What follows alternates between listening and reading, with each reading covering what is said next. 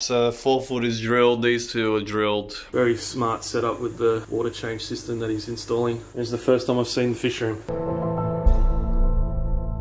G'day guys, Jason here. Welcome back to my fish room. So in this week's video, we're actually going to be heading over to my cousin Adam's house and having a look at his brand new fish room. If you've been on my channel for a while now, you would have seen that over the last few months I've put out some videos on the progress he's made in building his brand new fish room. And with this video, we're actually going to be seeing the first fish going into the brand new fish room. So let's get into it. How neat does that look? So the painting is done, I cut all the felt board stuff. It's gonna look awesome. Bare bottom will be black underneath. Black silicone. Yeah, can't wait. So I've just cut the air distribution, well most of it anyway. So that's above the five foot rack. Goes across, it's above that for the aircon, comes across here, above all the central racks. Goes there, there's a tap there to give like pressure relief if I need it. So once I move the other four foot in there, I'll put the length across and hole and into the other garage. Got some tidying up to do obviously, but yeah. All that preparation, planning, drawings, calculations, they're finally all in and I'm really happy how it feels actually. It just feels cozy, it doesn't feel tight it feels, yeah. I really feel like I've made the most um, out of the space that I have in here. So now tidying up. So four foot is drilled. These two are drilled, but I need to give them a good clean. Mum and Dad were here for a while, so I just did what I needed to do while Dad was here to help me lift. So yeah, got a clean, finish drilling tanks, glue some PVC, then do the drilling in the air, run power boards, etc. for lighting. So here's my old room. So I've moved all of the tanks into the new room that I wanted to take with me. So these three are going to stay here. I'm going to leave them in this side of the garage as quarantine tanks, so they're totally separate. So if we walk around now to the new room. All the racks are obviously in so all the PVC for the drainage around the room is all cut glued in position. All the stands are in position they don't need to move now anymore. So um, I've cut and soft fitted the PVC for my air circuit and I just drilled this piece and tried um, fitting my taps so they got like a thread on them, so I drilled a hole in the PVC, then thread, screw them in. So I'm gonna put, I'm putting one every eight centimeters. I bought 120 of these. Didn't want to buy the plastic ones because I heard that they split and break, get brittle. So I paid a bit extra to get metal ones. So yeah, best thing is is that now all these old tanks are in here and they're all drilled and bulkheads are, are fitted and in. So I've got a few running because I had um, no space to put them anywhere else. So I switched them over in here. So I've got four tank tanks running. There's a Regani pair. And yeah, I've got Apistos. This tank you can't see because I've got no light on. Yeah, so these are done now and in position. So my four footer and 10 two footers, that's a North Northrax rock. And the rest are ready for tanks. Okay, so I bought some more fittings. So this is where the side wall of the tank is. So this is in the tank and that's out of the tank. So in the tank we have the, the thread of the bulkhead in. So this is an elbow I bought that screws on. So I bought this so that I can give myself a bit more um, height in the tank with the water level. So I can put this on this thread and then just turn it and leave it um, to set the height that I want the water to sit at before it starts spilling over into the bulkhead. And then on the outside of the bulkhead to get to my PVC drain, So I've got this which threads screws into there. Then a piece of 13mm irrigation hose will go onto that barb. Then this elbow goes into that and then we have this hose coming down into the PVC drainage. So I'll show you, I just loosely set it up on one tank. So you can see here's my elbow. So I don't have the water level right up to the bulkhead in this tank but if I did I'd then be able to turn this to adjust when the water starts spilling over so I can have it up really high if I wanted to really handy and so then this is it on the other side so the thread into the barb then this barbed elbow irrigation hose goes down and into the PVC drain. So I bought the connections I need to connect my air pump to my PVC air line that I ran around the ceiling. So this came with the pump, so the pump goes into this side. So a 40 mil piece of PVC pipe will fit in here. Also into here, then this is a reducer 40 mil to 25. Then I happen to have a little bit of 25 mil here and that's a 25 to 20 reducer which is what my circuit is so I couldn't get a 40 to 20 unfortunately so I had to get this one as well and put a little piece of 25 million but it'll do the job okay so this irrigation stuff isn't exactly the easiest to work with because of how bent it is but anyway all these tanks their overflows and drainage is now set up so these three all going into that T-piece and then in the center here I've got five tanks draining. Those two, those two, and only that left two footer. Yeah, so they're in there. And then these three tanks.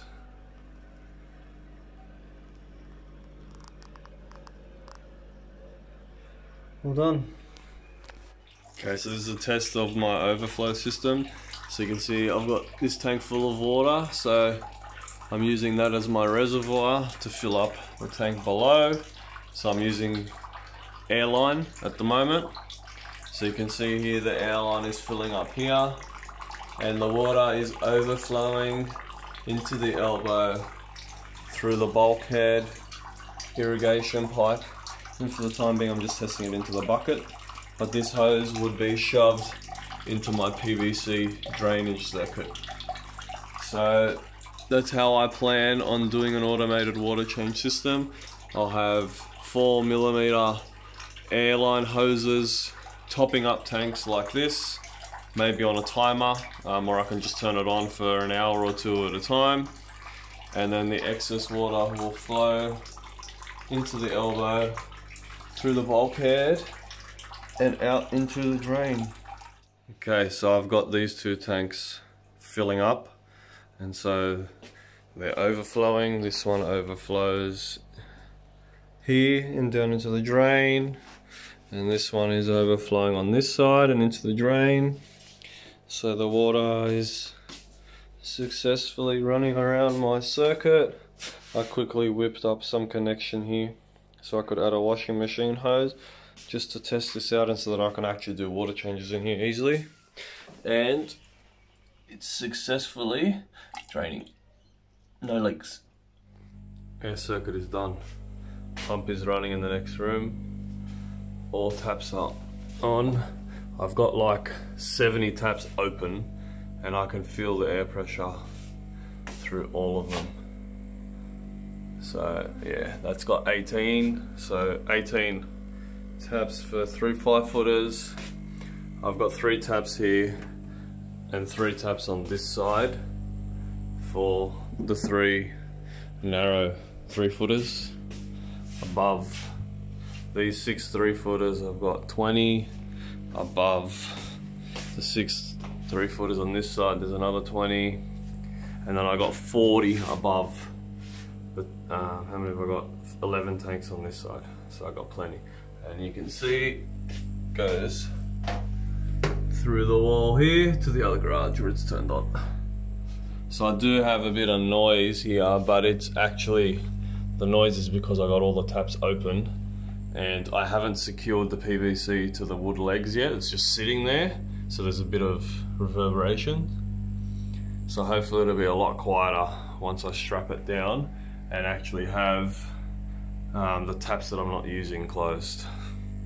But yeah, another good milestone now. So I can connect the air lines and then I can actually run all of these 11 tanks now. I don't have to worry about buying crappy little pumps and then connecting lines and splitters and stuff like that. So yeah, very happy. Okay, finally got our first delivery of tanks. So I got the three small bookshelf tanks. Yeah, I'm really happy, like nice and crisp. And he positioned the holes where I told him and thankfully it looks like I did the measurements right. So the bulkheads are going to fit between the legs. And then I got three of the bigger three footers. So yeah, happy days. I'm gonna, I need to give them a clean. Um, they got sawdust on them, but I'm gonna give them a clean and fill them up.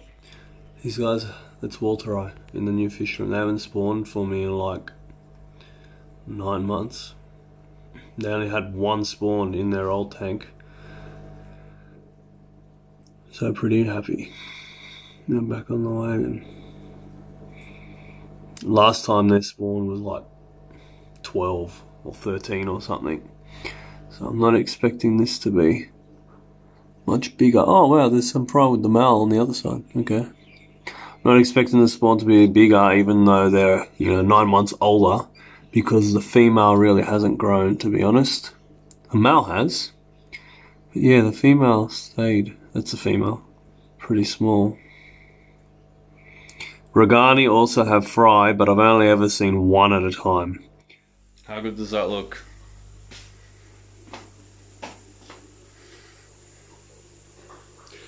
So tonight, I'll start putting bulkheads and fittings on. And he said I should give it another day or two for um, the brace to set properly before I fill them. Um, the tanks are, like you said, you know, the tanks hold water and everything, but just to let the brace strengthen a bit more before I fill it. So yeah, only these three now left, and obviously my air issue. But yeah, all happening. It looks so good, eh? Looks and it's not cramped. It's comfy. So yeah, so now I'm to put all the bulkheads on and then unfortunately I didn't get my lights today, maybe tomorrow or Friday. Then I'm to run um, all of them and set them all up. So I bought like clips um, so that I can have all the cables running nice and neat on the timber and hopefully like hidden. So there's no hanging anywhere. So um, yeah, I've got six outlet power boards like this one. So each rack will have one power board that has all lights going into it, which then goes into one of the Wi-Fi plugs. So um, I've got six lights for the North Rocks rack, and they're all gonna go into that one power board, and that one power board goes into the Wi-Fi controller, so I can turn them all on and off um, at the same time. Essentially, they're all on the same schedule. So each rack will be on its own um, own Wi-Fi adapter. So those three are going to go there, and then these these are this rack I bought the big six foot lights for. So one across that, one across those two, those two, etc. So they're all going to be connected into one power board that's going to go into Wi-Fi adapter. Which I'm probably going to have to move to this one because the bulkhead will be in the way. But yeah happy days. I really just wish I could get my air sorted today so that I can start getting sponges running. Yeah. I really just can't believe how good it looks. Yeah, really happy. So I figured out how I'm going to hang the light. So far from being elegant, but put a screw in and then I just cable tie to the screw. Okay guys, Right, Adam's fish room. Have a look at that. all the tanks are in. Tanks, tanks, tanks, tanks, tanks. so this rack's got some five footers on it. You can see the plumbing is set up. The bulkhead, water will drain out down this line, down to the common drain line. All these tanks feed into that common drain line. And that drain line goes out to the drain. I love these tanks here. These are beautiful, like little bookshelf looking tanks that he's had made up. And uh, yeah, just you can see the size of them compared to my hand. I think they're three foot by about 12 inches by 12 inches. And uh, all the way down, Elmo making an appearance. and then in here, we've got uh, 12 three footers, six on each side.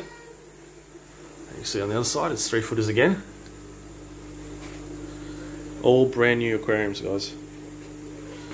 You can see they all drain into these common drain lines. This common drain line begins from here, from the middle rack, and then goes all the way down underneath these tanks. you see that PVC pipe there, and then it wraps around the room. All the aquariums in the fish room drain to that common drain line and then out. And you can divert the water to the garden or to the bathroom that's connected to this fish room that's just behind this door. Let's look at some of the fish he's got in here. Got some punks, beautiful little shell dolphin Lake Tanganyika. You can see the shell, they've almost uh, buried, buried, pretty well there. He's got a pair in here. Uh, his breeding pair of yeah, uh, regani are in here. That's the male, and the female is quite large. She's hiding at the moment. And then, I believe that's Neolamprologus walteri. Yes, it is. And that might be a breeding pair. Beautiful fish. I reckon one of the classiest Tanganyikan cichlids. it's just the way the scales are. Checkered pattern down the body. It's beautiful. And then these little sand sifters. We've had them for a while now, and some of them are starting to colour up. They're getting the blue coloration with the yellow lips. You can see what they've done to the sand. They keep sand, they keep sifting the sand, and they look like a bumpy appearance on it. Yeah, you can see it now. Compared to this sand, it looks very different. But these guys are quite tame. And they come up to the to your hand the moment they see the hand above the fish tank, they think they're going to get fed. Very tame guys, especially compared to the Regani who are quite skittish. And then yeah, more tanks. These tanks he's had uh, for a while. They're not brand new. And some other fish he's got in here are some Alenquer. Apistogramma Alenquer. Agassizii, I believe, yeah? Yeah. Agassizii Alenquer. Agassizii Alenquer. North, Alenquer's a northern part of Brazil. Sorry. The name. Sorry about the reflections, guys. These guys are very, very shy. I haven't even seen them since I've been here, so um, unfortunately, I won't be able to show you what they look like. But they are in there. Nice little dwarf cichlid from South America. Yeah, these tanks are looking awesome. I really like the way he's done the bulkheads, rouge drip system. You got the lights today, and uh, the tanks yesterday. So everything's pretty much brand new. A lot of cleaning to do, get these tanks ready for fish. Everything's up to him now to get it all get it all sorted. We're not waiting for anyone anymore. So very good. You can see the aircon he's using in this room. Absolutely no need to use it today. It's very warm in here even with, without it on. So he's insulated it very, very well. And yeah, everything's run, all the lights are run on these smart adapters that he can control from his phone. Having the phone to control the lights, he can check from anywhere in the world if there's power in the fish room. Uh, and he can turn the lights on and off from his phone. So, some automation in there, which is really good. Anyway, there you go, guys. It's finally happened. It's the first time I've seen the fish room. Really, really like it. Looks awesome. Loving it. Very neat. Looks amazing. Very smart setup with the water change system that he's installing. And yeah, I think he's outdone himself with the title of one of the neatest fish rooms in Sydney with his past fish room. This is going to take the cake now. there you go. So there you have it guys, Adam's brand new fish room. What do you guys think? I personally think it looks amazing. He's done a fantastic job with that room and it looks really, really neat. I love what he's done with it. So I really hope you enjoyed this video. If you did, please give me a thumbs up, comment and consider subscribing to the channel. I really would appreciate it. All right guys, I'm gonna wrap this video up now. Thanks heaps for watching and I'll catch you in the next one. Bye.